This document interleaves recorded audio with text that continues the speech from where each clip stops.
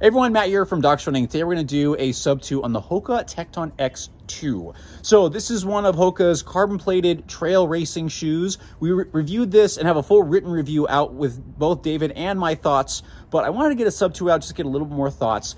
It, it's fairly similar to last version, at least sole-wise, with a new upper that provides a little bit more snug and secure fit up top. But before we get any farther, let's get into some specs. Men's size 9, 8.8 ounces. Women's size 8, 7.4 ounces. 32 millimeters in the heel, 27 in the forefoot, 30 in the in for men's, 30 in the heel, 25 for the forefoot for the women's size with a um, 5 millimeter drop across the board.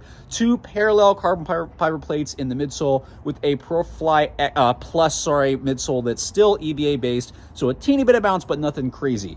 This shoe works best for moderate distance, faster efforts. It's just like the last version where for me, if I was going a little bit up tempo, it worked really well. Tempo efforts, up tempo efforts on the trail work great.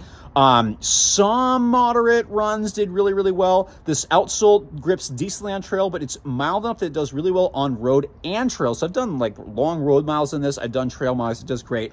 Not the best really aggressive trails, but really good for somewhat well groomed if you need to get a little bit more aggressive, but can also handle versatility into roads. So varied terrain, this shoe is going to work really well, but I think it's going to work better, like I said, for more moderate distances when you're trying to pick up the pace. Easy efforts, as I said, don't feel good. So I wouldn't choose this for a ultra marathon. I choose this for like a trail 10K to half marathon. Definitely like the half marathon distance where you're still going to want to go a little quicker, but you're not going super fast because I think Hoka has better shoes for that, but you're not going to go super long. It's great, works really well for hill repeats, up tempo runs, fast downhill efforts. It's something that feels tuned. I'm really hoping that uh, the next version has a super foam in it, but this one, it's going to be consistent last one, just a little more secure in the upper.